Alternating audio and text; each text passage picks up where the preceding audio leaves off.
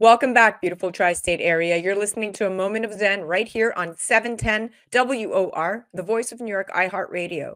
I'm your host, Xen Sams. Up next, in just a few minutes, in our Going Deep segment brought to you by CO2 Lift, we're featuring celebrity dermatologist Dr. Jeanine Downie. She's board certified and she's the director of Image Dermatology PC in Montclair, New Jersey. She's been honored as one of New York Metropolitan's top doctors. Impressively, she's a medical consultant for the Today Show, Good Morning America, and Dr. Oz. That's just to name a few. She's a highly sought after lecturer and consultant, often performing FDA and investigator initiated clinical trials for many of the top tier pharmaceutical companies. Her newspaper and magazine credits include USA Today, the New York Times, InStyle, Allure, Prevention, the Oprah Winfrey magazine. The list goes on and on. Her first book, Beautiful Skin of Color, is a comprehensive skincare guide for Asian, olive, and dark skin. Today, she joins me to chat about secret hacks for skin of color and to help me demystify the stigmas surrounding female sexual health. Now, you're probably not used to thinking of skin as an organ, but it's actually the lar- largest organ of the body. It has a myriad of functions and is a big contributor to overall health. Skin of color requires some special attention to keep it healthy and attractive. It's prone to some conditions which are not typical of white skin, such as hyperpigmentation or the risk that skin cancers tend to be more advanced at the time of diagnosis. So, what are the best ways to take care of darker skin?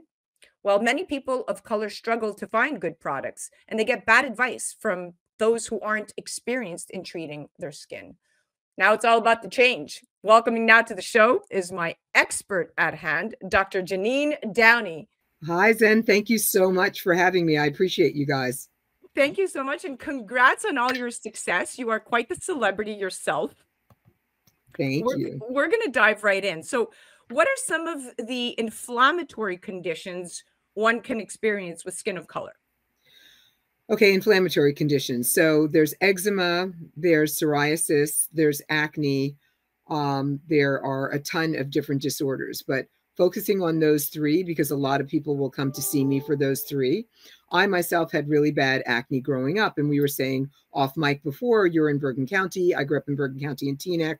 I went to Teaneck High School, and unfortunately, I think I was the child that had the most pimples at my entire high school, which is not great when both my brothers were models. So it kind of it was what it was. And um, inflammatory wise, what happens is any pimple can leave a dark spot, especially in skin of color. If you're Caucasian, more of a red spot. If you're brown, more of a dark spot. And that can take months and months and months to go away. And if you sit here and you pick it and you mess with it, then it'll be much, much, much worse. Eczema, hyperpigmentation, and or psoriasis, which is more violet patches with silvery scale. You can see it on the elbows, on the knees, in people that are afflicted, sometimes all over their scalp, sometimes in their ears. And these conditions, if scratched and picked, can leave big brown patches that can also take months to go away. So I tell my patients one of my nice ways of treating all three of those is with the CO2 lift, which is a wonderful product, uh, which is it, it employs what we call the Bohr effect. So it's actually putting moisture back into your skin and helping to decrease inflammation and calm down inflammation. It can be used on your face. It can be used in your scalp. It can be used in your ears. And we'll get to private parts later, but it can be used there too for eczema and or psoriasis. Obviously, hopefully people aren't getting acne down there. Ooh, I love how you said that. Mm-hmm. Now, at what age do these conditions typically present themselves? And and yes we will get to co2 in just a bit but i'm interested to know is this an onset of adolescence? Is this in the 20s 30s what what increased demographic in your practice do you see uh, typically these conditions present themselves and how would you treat them? Right. So i tell everybody the same thing. Acne presents itself depending. It depends around 11 12 13 um, some people don't get acne until they're adults so it varies.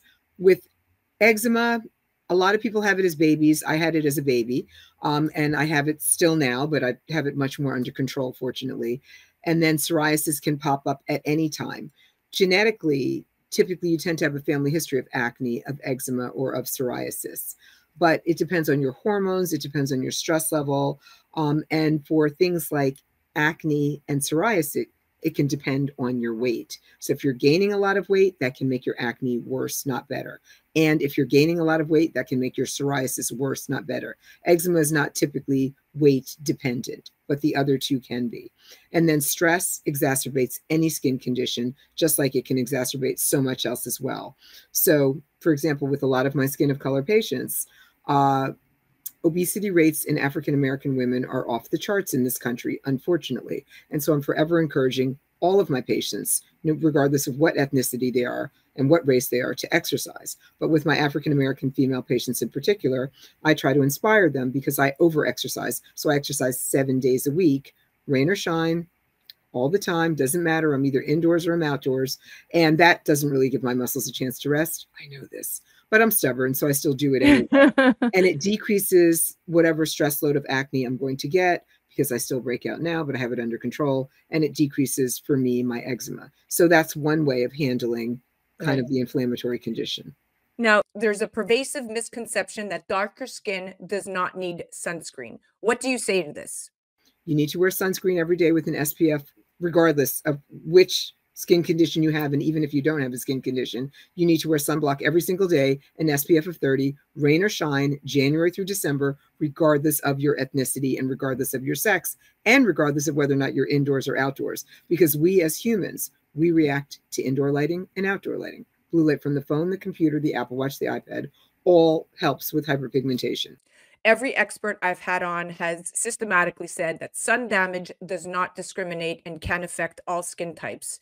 It can mm-hmm. negatively affect specifically skin of color, causing hyperpigmentation, rosacea, melasma, cutaneous lupus, photoaging or wrinkles, skin cancer. I mean, the list goes on and on. So, without a doubt, it's imperative that a broad spectrum SPF 30 plus sunscreen regimen is implemented in all skin of color patients to protect against harmful UVA and UVB rays. But I will shift to the CO2lift.com. So, CO2lift.com has a gel that, from their studies, show 117% increase in hydration after only one application, as well as 26% increase in elasticity after six treatments. Now, this type of hydration is optimal.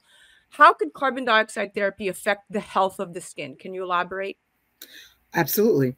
So it employs something called the Bohr effect, B O H R, where it's pulling moisture into your skin, helping to decrease fine lines and wrinkles, helping to decrease inflammation within your skin. That's a decrease in your rosacea, decrease in your melasma, decrease in your acne, your eczema, your psoriasis. Um, there's something else called seborrheic dermatitis, which is kind of like an angry case of dandruff, which it can help to decrease that as well. And my patients simply like it so much for a lot of the eyelid dermatitis. You can use it around the eyes because it's not too strong to use around the eyes. You can use it around the lips. So even in very sensitive skinned areas, you can still use this product. And what it does is it really uber hydrates the skin and brings back moisture into the skin which my patients love. For example, I was just sharing you with you before we went on air that I was in Paris and I just got back yesterday. So of course last night I put my hair up and I put a CO2 lift on my face to rehydrate my face because all that plane travel plus all the running around I did at that medical conference last week when I was in Paris really dehydrated and dried my skin out. So I put the CO2 lift on from the top of my forehead, including my eyelids, all over my face, including my lips, down my neck, and then I put the excess little bit I had left on the backs of my hands. So I do recommend to my patients they do that continually, especially before they have a big event, uh, before they have a big presentation, before they're going to do something on TV, that type of thing, just to look better yes. on a daily basis, yeah. whatever it is that they want. Oh, I'm a huge fan. I use mm-hmm. it Mm-hmm. Weekly mm-hmm. as well and i even use the vaginal treatment which we'll get into a sec but you know mm-hmm. it, it, with this science the science doesn't lie it increases right. the presence of wound repair factors and growth factors, which we know help cells turn over faster, reducing the appearance of aging and scars and stretch marks. And it also stimulates collagen and elastin production, which promotes elasticity and helps right. retain hydration. And of course, improving local metabolism and elimination of waste products, which helps the body heal localized damage such as scars or acne hyperpigmentation. And my favorite is the regenerating and repairing damaged tissue to help clients achieve that better looking and feeling skin. I've been using it after my explant surgery on my open wounds on my mm. uh, on my lollipop lift that Dr. Rankin did. I explanted my breast implants after 14 years. There was a faulty valve, oh. and that's another conversation. But mm, I'm I sorry. Am, mm. yeah, so is FDA, not right. Mm. Um, now, as a dermatologist, we're going to segue a little bit. One who advocates female empowerment. How do you feel about vaginal skincare? So, a lot of my patients kind of quietly come in and buy the CO2 lift because it really does add moisturization not only to our faces, and our necks and our hands, but to our vaginas. And nobody wants to talk about the vagina, but men like to cozy up next to it. And we women, we have one. So, and if you are on this earth as a human, you came out of one. So we need to talk about vaginas more and just be kind of comfortable with our sexual health. So a lot of my patients, as they start to get older, they get a little more dry. They're not happy with that. And this is one way of combating the dryness. So it's a a vaginal, you know, kind of like it's in a little tube like a tampon. You pop it up there, you let it sit for a while, hang out for like 45 minutes. You can use it for moisturization on your labia, that type of thing also. And it increases the circulation, it increases the moisturization, and it can, for some people, increase their orgasm later, which is a very good thing. A lot of my male patients will use it as well because it boosts the circulation and it stimulates the blood flow to that area for a more intense experience, which I think if you're going to have sex, you're obviously looking for an intense positive experience. So this is one of those things. It's hypoallergenic. So no, it does not smell like anything. There's no scent. It's fragrance free and it's cleared for use of the genitals. So a lot of my patients are worried, is this going to make things worse? Is this going to do this? It's very soothing for my patients, for example, then that have razor bumps down there. Um, it's very soothing for my patients that have a little touch of eczema down there. Obviously, very soothing for anybody that has vaginal dryness that wants to use it. And it's extremely extremely good for my patients that have a very difficult condition called LSNA, which is lichen sclerosus atrophicus. That's is my next of, question. Okay. So CO2 lift V improves sensitivity, urinary incontinence, uh, mild laxity of the vaginal and, and labia of the right. vagina and labia, as well as what you just said, lichen sclerosus, which is a rare skin disease that causes itchy and painful patches of thin, white, wrinkled looking skin. And in women, to my understanding, these may occur on the vulva and or the skin around the anus. And in men it typically affects the head of the penis. Now this is what right. dr leonardo and i talked about this. But can you describe the co2 vaginal treatment process and its effectiveness uh, specifically for lichen sclerosus absolutely. So my patients will come in, their vaginas feel constricted, they can have whitish patches, they can be itchy, or they can just be, you know, painful in general. And after using the CO2 lift for a while, like you said before, it can build collagen. So it helps to improve elasticity down there. So they get their elasticity back, they get moisturization back, and it helps to heal the inflammation because of the blood rushing to that area and the fact that it improves circulation in that area. So my patients are really thrilled with it. And I would say LSNA is one of those difficult conditions. So it definitely has to be used repeatedly. This is not a one and done. But like I always tell my patients, you're not going to do one push up or one sit up and stop. So skincare is constant, just like vaginal care is also constant. I love this narrative. Well, we mm-hmm. are officially, officially out of time. You are that's why you are the lecturer, the, the, the, famous dermatologist that everybody has talked about. And thank you so much for coming on and gracing us with your presence. You are a plethora of, of information, and it was such a great conversation because it's one thing to hear consumers say, Hey, I'm using CO2 lift and I love it. But then when you get the medical endorsement and the medical community behind it saying, Hey, listen, I use it on me. Dr. Beisman, uh, last week's interview said, I, I actually put it on my face. And he was, you know, here we go, this older white man saying, I actually put it on my on my face. And it was just interesting to see his enthusiasm about the product, which was great. And your your listeners and your viewers need to know that they can just call my office at Image Dermatology in Montclair. You do not have to be a patient. We will discreetly, with a proper credit card, of course, it's not free, ship it out to whomever it is. You do not have to be a patient of mine to get the product. You just need to call Image Dermatology in Montclair, and I'm happy to ship it anywhere in the continental United States. Oh, I love that. We're, Mhm. we're definitely going to send lots, and you're local, so we're definitely sending lots of people your way. Thank you so much for coming on. It was an absolute pleasure chatting with you. Thank you kindly. Thank you very much for having me.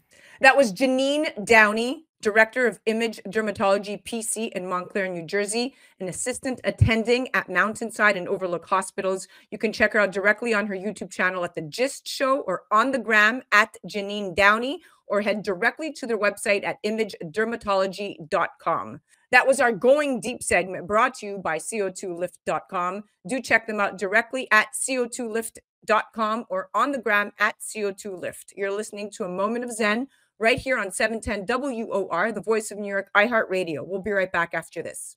A Moment of Xen is brought to you by CO2 Lift. As we age, our skin loses moisture and elasticity, causing wrinkled skin. You can reverse this aging process with CO2 Lift. CO2 Lift utilizes the powerful benefits of carbon dioxide to lift, tighten, and regenerate your skin. This simple, painless at home carboxytherapy treatment is scientifically proven to reverse the aging process. You will see reduction in wrinkles, increase luminosity, and improve pigmentation, sagging, skin tone, and radiance. For more information or to order CO2 Lift, go to CO2lift.com.